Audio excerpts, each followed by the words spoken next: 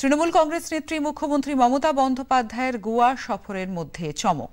তার উপস্থিতিতে আজ তৃণমূলে যোগ দিলেন বিখ্যাত টেনিস তারকা লিয়েন্ডার পেস। তার সঙ্গে অভিনেত্রী নাফিসা আলী এবং গোয়ার বিশিষ্ট উদ্যোগপতি মৃণালিনী দেশপ্রভু তৃণমূল কংগ্রেসে যোগ দিয়েছেন।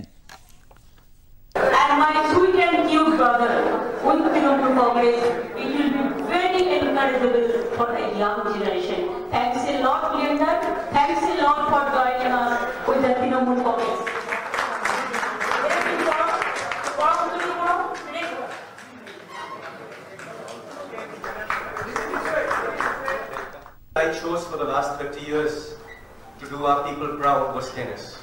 I traveled the world for 30 years playing for our country, whether it was Davis Cup or the Olympics or winning Grand Slams. Now that I've retired from tennis, the vehicle has changed. And I would like to come under the same guidance of a very powerful young lady who's run with her passion and also given me the opportunity to serve our people through politics. I would like to make a difference to the youth. I would like to make a difference where my roots are. And that's why I've come and joined Didi in this endeavor, to make a difference to our country as a whole.